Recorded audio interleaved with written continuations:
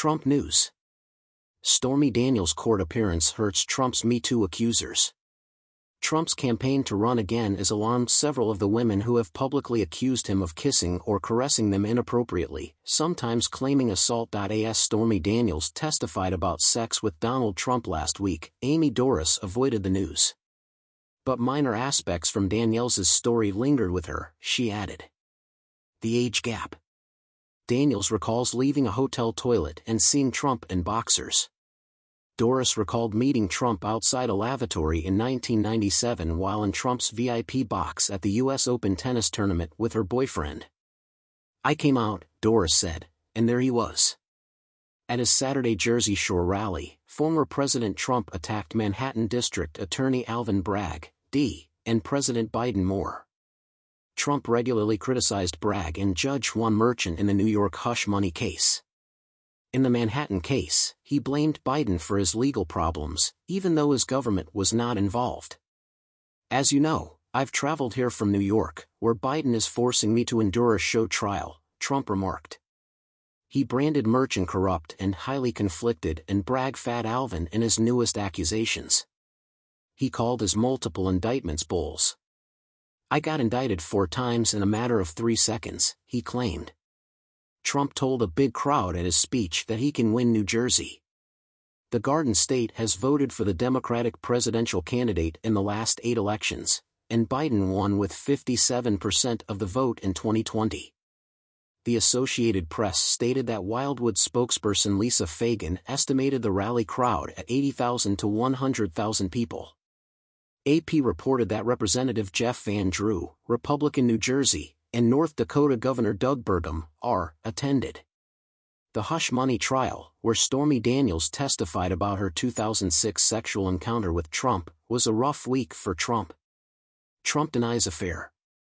Trump cannot criticize witnesses, jurors, prosecutors, court workers, or the judge's family, per Merchan's gag order. He may still insult Merchan and Bragg, whom he criticizes every day.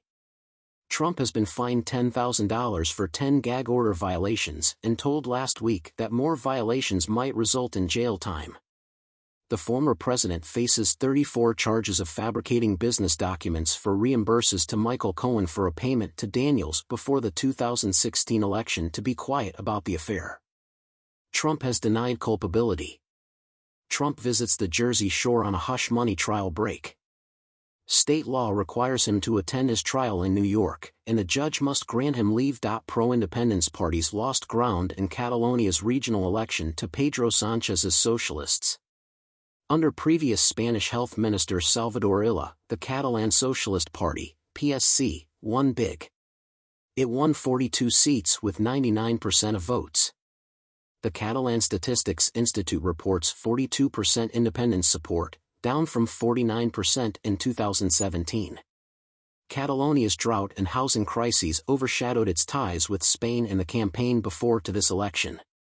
The staunch the former regional president Carles Puigdemont's Together for Catalonia, JXCat, party placed second with 35 seats, regaining its position as the region's main pro-independence party ahead of the Catalan Republican left.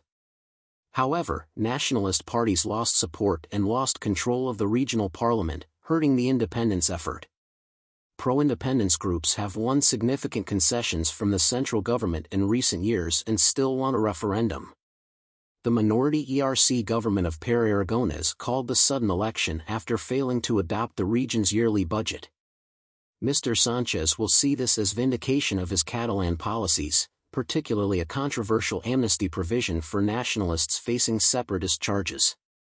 Right-wing opponents are slamming the amnesty in the Spanish parliament. Mr. Illa called it a new era for Catalonia.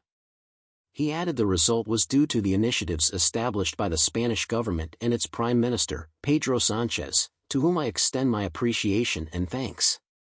Mr. Sanchez formed a new central government in November with legislative support from JXCAT and ERC, which required the amnesty bill.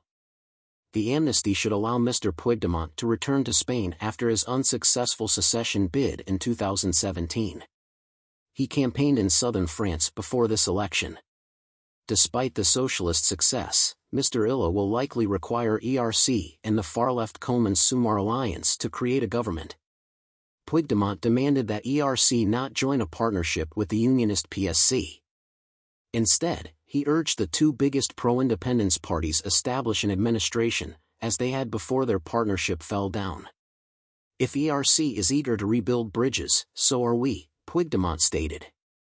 However, the Catalan parliament's unionist separatist and left-right divisions would likely prolong post-election negotiations. A rerun election will occur without a new administration. Conservative People's Party, PP, gained ground to become Catalonia's fourth party, followed by far-right Vox.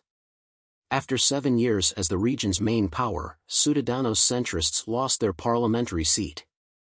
Catalan Alliance, a new far-right party, gained two seats with its separatist and anti-immigrant program.